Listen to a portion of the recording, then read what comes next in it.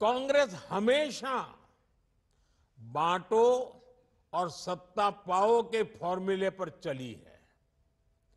कांग्रेस ने बार बार ये सिद्ध किया है कि वो एक गैर जिम्मेदार दल बन गया है। वो अभी भी देश को बांटने के लिए नए नए नैरेटिव गढ़ रही है।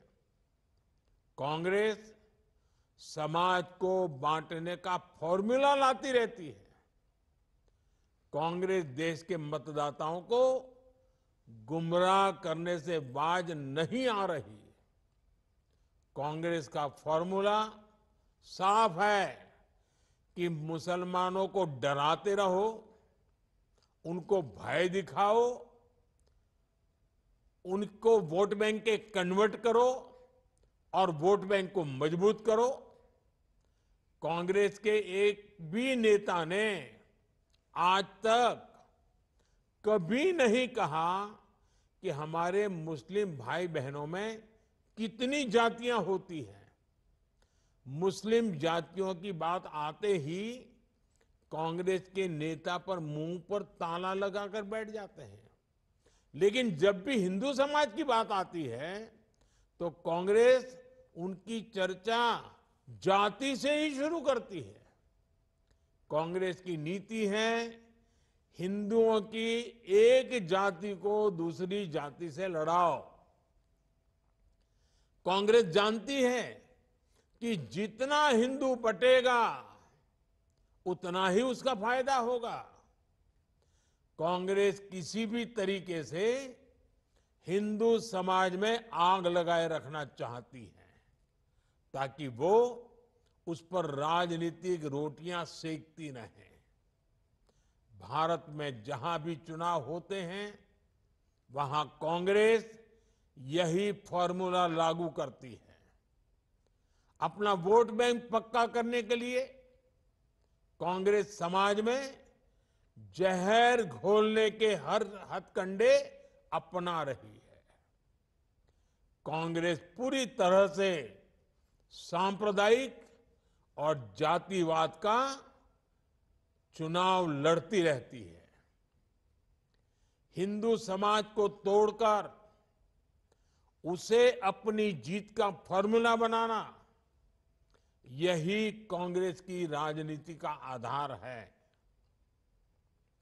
कांग्रेस भारत के सर्वजन हिताय सर्वजन सुखाय की भावना का दमन कर रही है।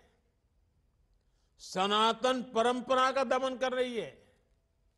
जिस कांग्रेस ने इतने वर्षों तक देश पर राज किया, वो सत्ता में वापसी के लिए इतनी बेचैन है कि हर रोज नफरत की राजनीति कर रही है।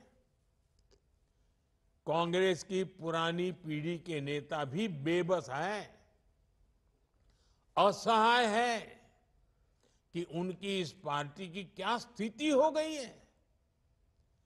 कांग्रेस की ये स्थिति होने वाली है, कांग्रेस नफरत फैलाने की सबसे बड़ी फैक्ट्री बनने वाली है।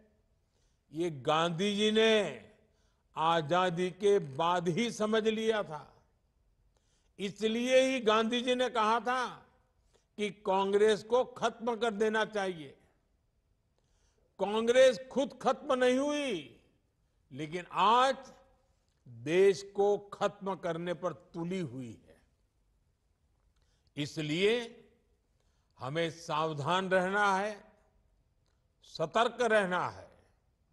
साथियों, मेरा पक्का विश्वास है समाज को तोड़ने की आज जो कोशिश हो रही है, ऐसी हर साजिश को महाराष्ट्र के लोग नाकाम करके रहेंगे। महाराष्ट्र के लोगों को, देश के विकास को सर्वोपरि रखते हुए एकजुट होकर बीजेपी महायुति के लिए वोट करना है। हरियाणा तर भाजपा जिंकली। आता महाराष्ट्रात यापेक्षा मोठा विजय मिळवायचा आहे।